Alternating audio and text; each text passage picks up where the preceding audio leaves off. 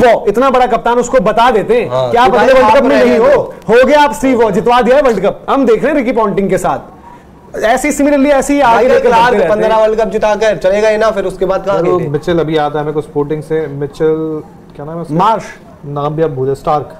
Stark का भाई है और ओलंपिक में आता है बताओ। हाँ। नहीं स्पोर्टिंग उनकी एक हिस्ट्री है लेगेसी है सब कुछ है। और ऐसे मोमेंट्स बनाती है ना यार। आज ऑस्ट्रेलिया में क्या वक्त हो रहा होगा जो वहाँ पे डाई हार्ड क्रिकेट फैंस हैं बाकी तो देश तो बात हो गई होगी हाँ, होंगे, तो सोच चुके होंगे बट कुछ जगह होंगे उनके लिए आज उनके लिए नए तो पैट कमिंस नए डेविड वार्नर वो आज देख रहे होंगे। बहुत स्पोर्ट्स में। ऑस्ट्रेलिया का क्रिकेट खत्म हो गया था भाई सैंड पेपर गेट। के टाइम डेविड वार्नर और स्टीव स्मिथ जो आज वर्ल्ड चैंपियन बनकर बैठे हैं डब्ल्यूटीसी का मेडल लेकर बैठे हैं टी वर्ल्ड कप जो जीते हैं वो बैंड थे।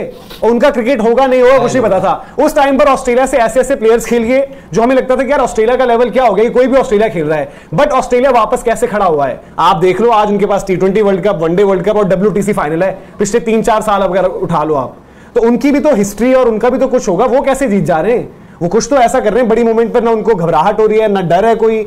घर पर भले अपने टी ट्वेंटी वर्ल्ड कप वो हारे थे बाहर हो गए थे ना लीग स्टेज में ही जो इनका इन्होंने होस्ट हाँ, किया पिछला वाला। पिछड़ा पिछला वाला इन्होंने होस्ट किया न्यूजीलैंड ने इनको मारा था पहले मैच में। फाइनल नहीं खेल पाए यार ये पिछले साल। नहीं पहुँचे थे नॉकआउट तो कोई टेंशन ही नहीं उसके बाद चर्चा भी नहीं हुई।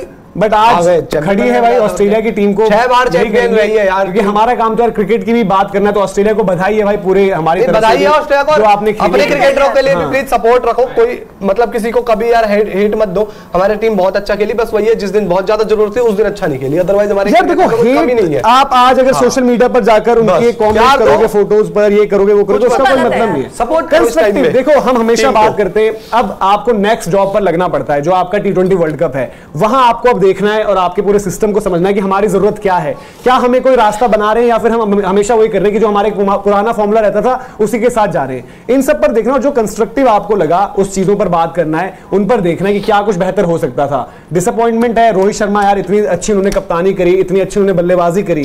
आज भी जो हुआ जो उनका विकेट गिरा शायद वहीं पर गेम काफ़ी हद तक रोहित शर्मा भी क्या, ही सोच रहे होंगे यार कि पाँच सौ भी मार दिए सौ मार दिए। ऐसी इंटेंट से भी खेल लिया जिससे से कोई नहीं बैटिंग कर दी तो फिर भी रहा। बुरा लग रहा है सबके लिए यार। शमी बोलोगे छह छह सात मैचों मैं दुनिया में आज से 20 साल बाद भी क्रिकेट देख लेना 25 साल बाद भी क्रिकेट देख लेना मोहम्मद शमी के 6 7 इनिंग में इतनी वर्ल्ड कप विकेट कोई नहीं ले पाया कोई नहीं ले के पाएगा। सकता हूँ आज भी। आप बोल रहे हो लिख लिख के देने के बाद ये मैं दे सकता हूँ क्योंकि व्हाइट बॉल क्रिकेट में बॉलर्स के लिए इतना बचता नहीं जा रहा है। और यार जो शमी ने क्या करोगे? परफॉर्मेंस सब कुछ तो कर लिए नहीं आया लेकिन। यार 700 रन यार वर्ल्ड कप में मज़ाक है सात सौ सब कुछ रन। वर्ल्ड कप स्टेज पर नंबर चार हमारा आके। पिछले बार तो नंबर चार नंबर चार का हमने चार साल दोना गाया। इस बार तो नंबर चार ने चार पाँच सौ ने रन बनाया। मतलब आप इस टीम तो में आप आज बोलो अगर तो आप इतना ही आपको लग रहा है ना कि टीम पर क्रिटिकल हो जाने वाली बात है कुछ है। है। आप बताओ कि going into the final team में कमी क्या थी? Exactly. एक नॉकआउट था नॉकआउट हडल था जो मतलब शायद मुझे लगता है कि बहुत ज़्यादा क्रिटिकल भी होता हूँ टीम का। तो नॉकआउट के बाद जिस दिन वो रिज़ल्ट आया तो उस दिन हम सबको पता था द मोमेंट हम नॉकआउट स्टेज क्रॉस कर देंगे तो फाइनल में हमें उतनी घबराहट नहीं होगी। इसके अलावा क्या कुछ था? कोई ऐसा था? एक चीज़ मैं बस देखना चाहूँगा इंडियन क्रिकेट में मेरे को नहीं फ़र्क पड़ता चैंपियंस ट्रॉफी या फिर ये ट्रॉफी वो ट्रॉफी जीते ना जीते। कहीं भी क्रिकेट देखूँ ना अच्छी विकेट पर मैच देखूँ इंडियन टीम अच्छे विकेट पर लड़के हारेगी भी ना तो भी एक्सेप्ट करेंगे गाबा हमें में अच्छी विकेट? मिलती है ना गाबा में जीता ना इंडिया अच्छे विकेट पर जय भाई क्या हमें ज़रूरत है। ऐसी विकेटें पर्टिकुलरली चाहिए हमें यार आपके पास आपके पास वर्ल्ड क्लास बैट्समैन है वर्ल्ड क्लास बॉलर्स हैं तो आप पिच को मतलब उस तरह के जो आप चाह रहे हो कि स्लोइश हो जाए बॉल टर्न करेगा ये मतलब।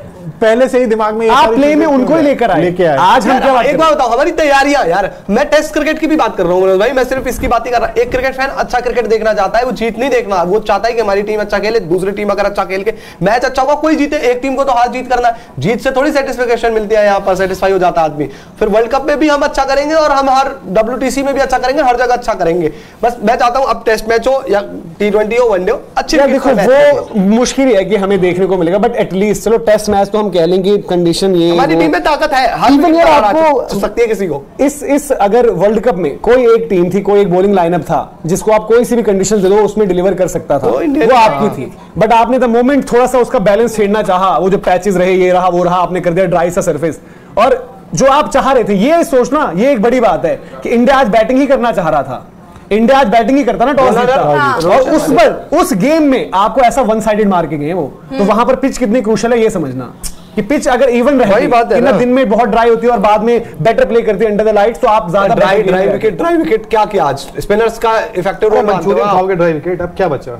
अब वही है आज आपने जो पूरी टूर्नामेंट खेली जो सब कुछ था जो ट्रॉफी सबकी कुछ थी बातें वो सब रह गई अब यहाँ पर ऐसी। पूरे दस मैचों का जो सब किया धरा था वो इस मैच में आके। बराबर हो गया।